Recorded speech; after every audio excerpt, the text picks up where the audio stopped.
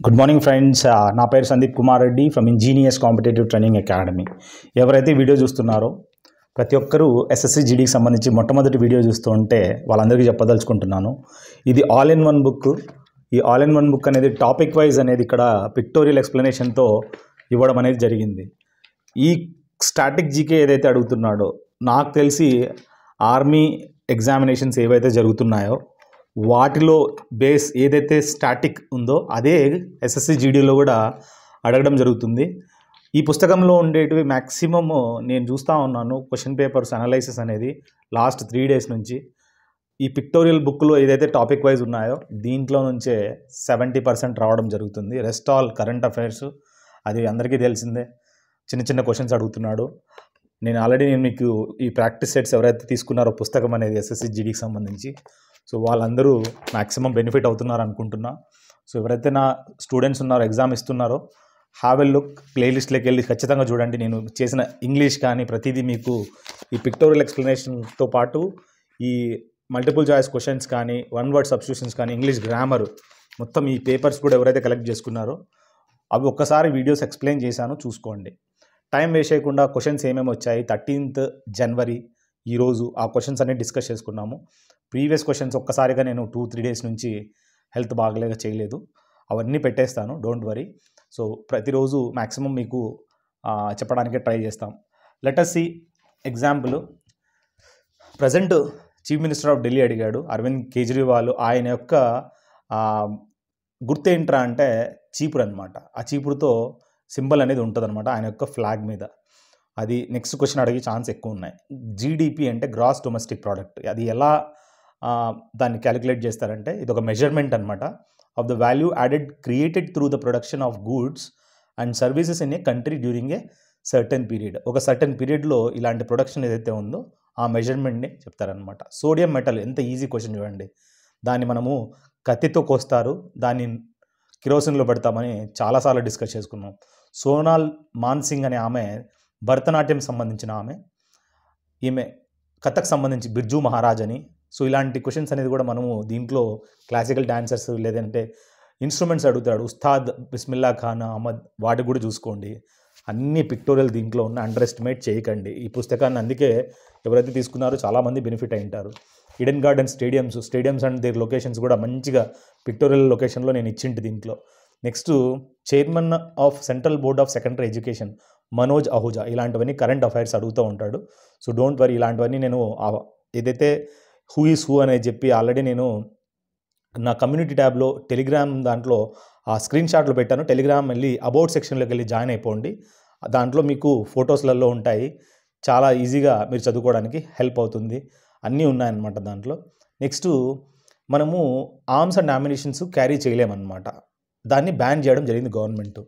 దాన్ని arms act ఒక పార్లమెంట్లో పాస్ చేయడం జరిగింది. ప్రతి ఒక్కరూ ఇట్లా పెట్టుకుంటే దాన్ని ఇల్లీగల్గా మనం చెప్పుకోవచ్చు. వాళ్ళని arms act nineteen fifty nine ఏదైతే ఉందో దాన్ని మనము వైలేట్ చేసినట్లయితే నిన్ను పోలీస్ స్టేషన్లో పెడతారనమాట సో ఎప్పుడు అది లాగు వచ్చిందంటే ఎయిటీన్ సెవెంటీ ఎయిట్లో లా ఇక్కడ మనం చూసినట్లయితే అప్పుడు ఈ విధంగా తీసుకురావడం జరిగిందనమాట సో ఇక్కడ ఆర్మ్స్ యాక్ట్ ఏంట్రా అంటే నైన్టీన్ ఫిఫ్టీ నైన్ అనమాట గ్రీన్ రెవల్యూషన్ అనేది మొట్టమొదట పంజాబ్ నుంచి స్టార్ట్ అయింది నైన్టీన్ సిక్స్టీ ఫైవ్లో. ఎందుకు అంటే ఎక్కువగా మనము white and rice Ludhiana district నుంచి అక్కడ స్టార్ట్ అయింది ఎక్కువ ప్రొడ్యూస్ చేయడానికి. ఎక్కువ అక్కడ గోధుమలు మరియు రైస్ పండించడానికి. మన లా సిస్టమ్ ఏదైతే ఉందో ఈ లా సిస్టమ్ అనేది అమెరికా నుంచి తీసుకోవడం జరిగింది. మన కాన్స్టిట్యూషన్లో ఇన్సర్ట్ చేయడం జరిగింది అనమాట ఏదైతే direct principles of state policy Ireland నుంచి తీసుకున్నామో అదేవిధంగా ఇండియన్ లా సిస్టమ్ అనేది కూడా అమెరికా నుంచి తీసుకోవడం జరిగింది.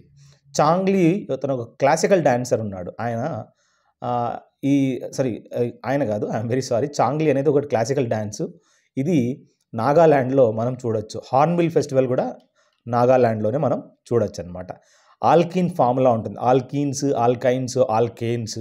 సో ఇక్కడ alkenes C N H two N ఇంకోటి two N plus one two N minus one అనేది మనం తెలుసు. ఆ దాన్ని బేస్ చేసుకునే మనము two C six H six C two H two acetylene అంటారు. ఇది సి టూ హెచ్ టూ అనేది వన్ టైప్ ఆఫ్ మనకి ఏంట్రా అంటే ఆల్కీన్సే అని చెప్పుకోవచ్చు అనమాట అసిటలిన్. అశ్వఘోష ఎవరైతే ఉన్నారో ఆయన కనిష్కుని యొక్క దర్బార్లో మనం చూసేవాళ్ళం అనమాట సో ఆయన మొట్టమొదటి సెంచరీ ఆఫ్ అవర్ ఎరా అని మనం తెలుసుకోవచ్చు కనిష్కుని కాలము. Association of south east Asian games ఏవైతే ఉన్నాయో సో ఇక్కడ మనము సౌత్ ఏషియన్ గేమ్స్ కాఠ్మండూలో జరిగాయని చెప్పుకోవచ్చు. సెకండ్ ఫైవ్ ఇయర్ ప్లాన్ సంబంధించి మనం ఎప్పుడు రా ఇది స్టార్ట్ అయిందంటే నైన్టీన్ ఫిఫ్టీ సిక్స్లో మనం చెప్పుకోవచ్చు ఎంత దీని మధ్యలో అంటే ఫిఫ్టీ వన్ నుంచి ఫిఫ్టీ సిక్స్ మధ్యలో జరిగిందని చెప్పి మనం తెలుసుకోవచ్చు అనమాట అందరూ మనం ఇంతవరకు మనము ఫౌండర్ అండ్ డైనాసిటీస్ కనుక్కున్నాము. లాస్ట్ రూలర్స్ కూడా చాలా ఇంపార్టెంట్. నేను ఆల్రెడీ చెప్పా మొఘల్ సామ్రాజ్యానికి అయితే మా జఫర్ అని చెప్పి అతను. ఇక్కడ మనం చూసినట్లయితే last ruler of Maurya dynasty అంటే చంద్రగుప్త మౌర్య అందరూ రాసేస్తారు. బృహద్రిత అనేవాడు లాస్ట్ రూలర్ అనమాట అందుకే ఇలాంటి పుస్తకాల్లో ఖచ్చితంగా మీరు చదువుకోండి అని చెప్పి చెప్పాను అనమాట అందుకే ఇట్లాంటి పుస్తకాలు పదిసార్లు చదువుకునే ఒకసారి చూసినామంటే ఇట్లా బొమ్మల ప్రకారం ఉంటే ఈజీగా మనము ఐడెంటిఫై చేస్తామన్నమాట సో బుక్ ఎంత కాస్ట్లీ అని తెలుసా? అంత కాస్ట్లీ ఇది. దీని పదమూడు వందలు పడుతుంది కావాలంటే ఆ ఒక్క పుస్తకమే. నెక్స్ట్ ప్రతి ఎగ్జామ్స్కి సరిపోతుంది చాలా హెల్ప్ అవుతుంది. కావాలనుకుంటే కాల్ చేయండి. నా మొబైల్లో seven triple six seven three zero two five two. Uttar Pradesh యొక్క గవర్నర్ అడిగాడు ఆమె Anandiben Patil. Indian Olympic association ఏదైతే ఉందో ఎస్టాబ్లిష్ ఎప్పుడు చేశారా అంటే నైన్టీన్ ట్వంటీ సెవెన్లో ఎస్టాబ్లిష్ చేయడం జరిగింది. తక్కువగా లిటరసీ రేట్ ఏ స్టేట్లో ఉందిరా అంటే బీహార్లో అని చెప్పుకోవచ్చు. ఎక్కువగా ఉండేది కేరళలో.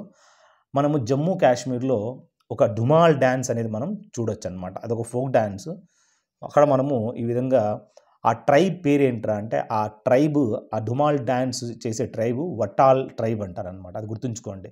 రేపు క్వశ్చన్ అడగచ్చు Dumhal dance Watal tribe is found in అంటాడు అనమాట అప్పుడు జమ్మూ కాశ్మీర్ రాయాల్సి ఉంటుంది. అంతే ఇలాంటి క్వశ్చన్స్ అడుగుతాడు. బట్టల్ని బాయ్కాట్ చేసింది మనము నైన్టీన్ టెన్లో ఈ విధంగా చేయడం జరిగింది. అదేవిధంగా foreign goods boycott boycott of foreign goods అని చెప్పి చెప్పుకోవచ్చు మనము. సుప్రీంకోర్టు ఫస్ట్ మొట్టమొదట ఎస్టాబ్లిష్ చేసింది అక్టోబర్ నైన్టీన్ థర్టీ సెవెన్లో. నాలుగు ఐదవ ఫైవ్ ఇయర్ ప్లాన్ ఏదైతే ఉందో దాంట్లో మనం చూసినట్లయితే దాని యొక్క మెయిన్ ఉద్దేశం ఏంటంటే అంటే increased concentration of wealth and economic power అనేది ఎక్కువగా చేయడానికి అనమాట అంటే ఎకనమిక్ పవర్ కానీ మన మొత్తం ఇంక్రీజ్ చేయడానికి మెయిన్ ఉద్దేశం అనమాట ఏషియన్ గేమ్స్ యొక్క మొట్టో అడిగాడు. ఎనర్జీ ఆఫ్ ఏషియా అని చెప్పి మనం తెలుసుకోవాలి. ఆ మొట్టో అనేది ఎవరు వెస్ట్ బెంగాల్ నుంచి రెండు వేల ఇరవై రెండులో పార్లమెంట్లో యాజ్ ఎ మెంబర్ ఆఫ్ పార్లమెంట్గా జాయిన్ అయ్యాడు. యాక్టర్ అని అడిగాడు అనమాట యాక్టర్ కాబట్టి శత్రుఘ్న్ సిన్హా అని చెప్పుకోవచ్చు. ఇతను ఎవరి తండ్రి అంటే ఆమె ఆయన ఆయన కూతురు ఉందన్నమాట. ఆ కూతురు పేరు నాకు కామెంట్ సెక్షన్లో పెట్టండి. యాక్ట్రెస్ తను కూడా. మైక్రో ఫినాన్స్ ఏదైతే ఉందో ఏది కంట్రోల్ చేస్తుందో అంటే రిజర్వ్ బ్యాంక్ ఆఫ్ ఇండియా. దీన్నే మనము బ్యాంకర్స్ బ్యాంక్గా చెప్పుకోవచ్చు. నైన్టీన్ థర్టీ ఫైవ్లో ఎస్టాబ్లిష్ చేయడం జరిగింది. గవర్నర్ దీనికి ప్రజెంట్ ఎవరున్నారో కామెంట్ సెక్షన్లో పెట్టండి.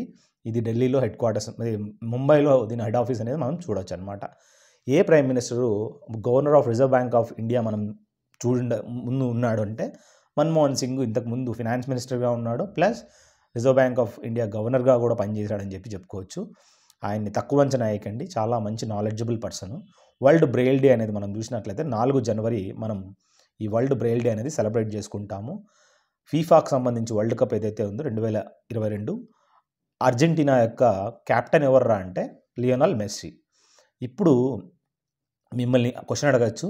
రన్నర్ అప్ ఏదిరా ఉండింది అంటే ఫ్రాన్స్ అని చెప్పుకోవచ్చు. అతి ఎక్కువగా గోల్డెన్ బూట్ ఎవరికి వచ్చిందిరా మనం చూసినట్లయితే అక్కడ ఎంబాపే రావడం జరిగిందనమాట further supreme court of India ఎప్పుడు ఎస్టాబ్లిష్ చేశాడరా అంటే రెండు ఇరవై ఆరు జనవరి నైన్టీన్ ఫిఫ్టీలో దీన్ని ఎస్టాబ్లిష్ చేయడం జరిగింది. అబ్రివేషన్ అడిగాడు ఎఫ్ఎస్డిడిసి ఎఫ్ఎస్డిసి అంటే ఫినాన్షియల్ స్టెబిలిటీ అండ్ డెవలప్మెంట్ కౌన్సిల్గా చెప్పుకోవచ్చు.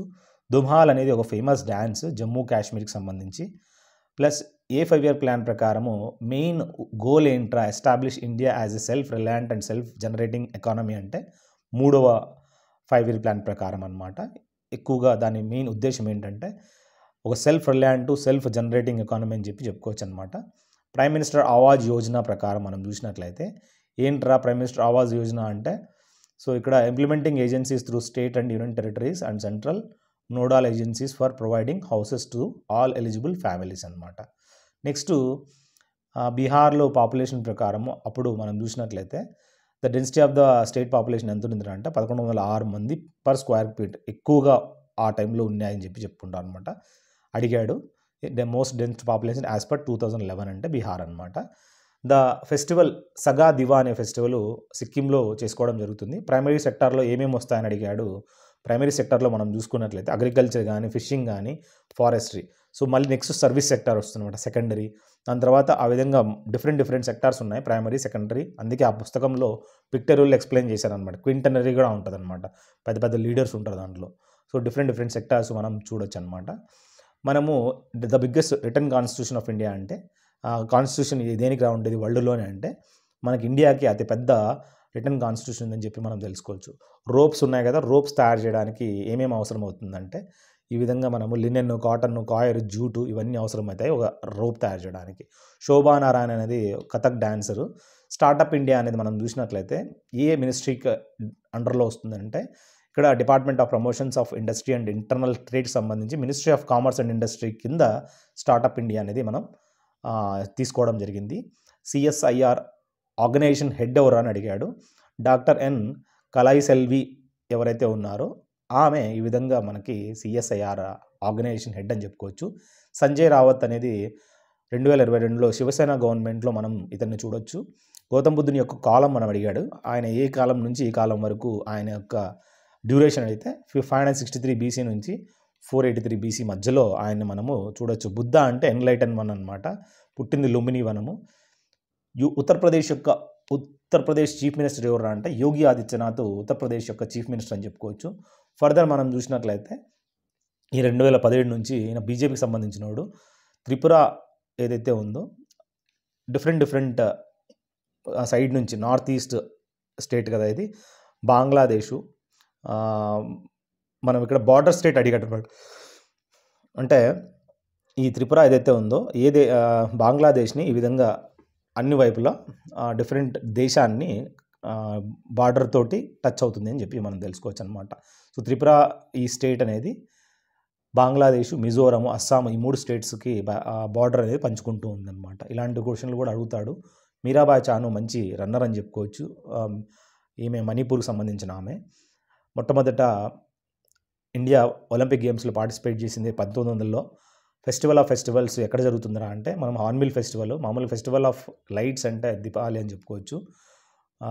బ్రిటిష్ మనము టేకన్ ఓవర్ బ్రిటిషర్స్ ఎవరైతే ఉన్నారో పద్దెనిమిది వందల యాభై ఆరులో అవధ్ అనే ప్రాంతాన్ని మొట్టమొదటిగా లార్డ్ డల్హౌసీ ఈ విధంగా వాజిద్ అలీ షా అని ఈ విధంగా డీపోజ్ అంటే అతన్ని తరిమి కొట్టాడనమాట సో ఆ విధంగా లాక్ డాక్టరీన్ ఆఫ్ ల్యాబ్స్ అనేది కూడా అక్కడ ఇంప్లిమెంట్ చేయడం జరిగిందనమాట అదేవిధంగా కేరళ అనే వర్డ్ నిషా గాంధీ ఎవరైతే ఉన్నారో ఆమె ఆ కేరళ అనే వర్డ్ ఇవ్వడం జరిగింది. యువజన శ్రమిక రైతు కాంగ్రెస్ పార్టీ. దీని ఇక్కడ మనం చూసినట్లయితే life time president of the ruling YSRCP so ఎవర్రా అంటే మనము జగన్మోహన్ రెడ్డిని ఈ విధంగా ప్రెసిడెంట్గా చేయడం జరిగింది. సో ద మ్యాక్సిమం రెయిన్ఫాల్ ఎక్కువగా మనము మ్యాసిండ్రమ్ అనే ప్రాంతం ఉంది మేఘాలయాలో. అక్కడే దాని తర్వాత మనం చూసినట్లయితే చిరాపుంజి అనే సెకండ్ ఏరియా అన్నమాట. ఎక్కువగా వర్షపాతం నమోదవుతుంది.